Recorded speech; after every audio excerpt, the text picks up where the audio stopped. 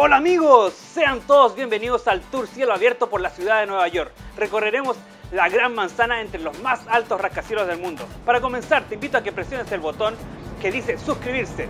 No olvides usar lentes de realidad virtual y mira a tu alrededor, porque aquí comienza el Tour Nueva York en 360.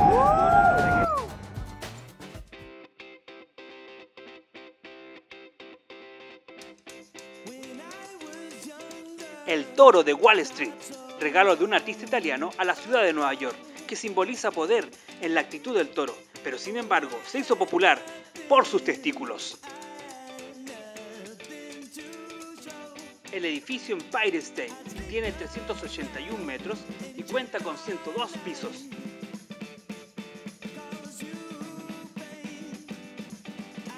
A nuestra derecha se encuentra Bryant Park y al fondo de esta calle podemos ver que se encumbra en lo alto el Chrysler, uno de los rascacielos de Nueva York que tiene 319 metros de altura y cuenta con 77 pisos. Y sin duda este es mi rascacielos favorito, es el New York by Gary, tiene 265 metros de altura, 76 pisos y es mi favorito por el diseño que tiene orgánico junto con estas líneas ortogonales hacia el cielo, diseñado por Gary que lleva su nombre.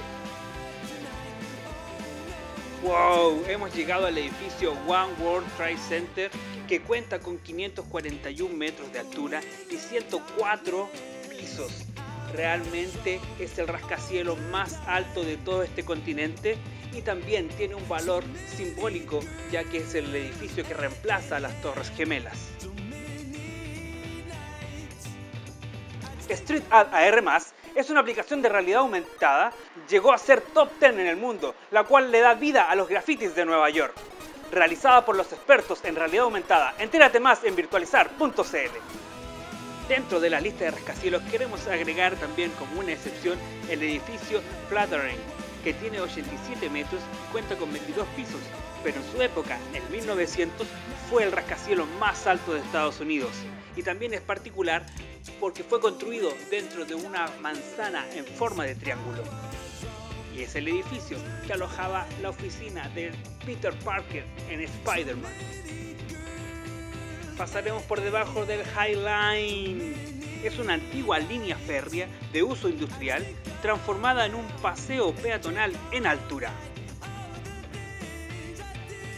Frente al edificio de correos nos encontramos con el Madison Square Garden, uno de los teatros de actividades deportivas y de infinidades de conciertos más famosos de Nueva York, donde han pasado los más grandes artistas desde Elvis Presley hasta los premios MTV el año recién pasado.